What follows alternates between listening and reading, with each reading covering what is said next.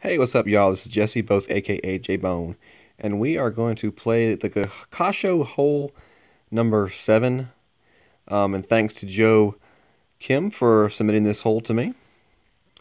We're going to start off with uh, playing the front approach, um, and he's going to be using like a Goliath, and you want to use a little bit of backspin, and you what what you want to do is just jump it off this front um, plateau area, um, and you're going to have two hops to the green.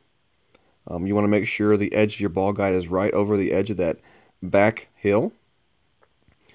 Um, and when you adjust, make sure you adjust correctly because if you don't and you hit it wrong, you could end up in that left sand. That's really the only um, risk you take on playing this shot is going left into that sand.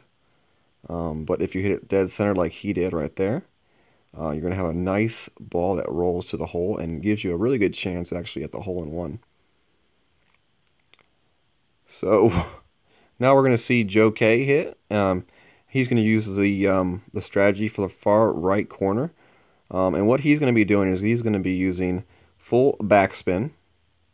And he's going to be hitting it off the top of that little hill right there in the uh, right in the front edge of that sand trap.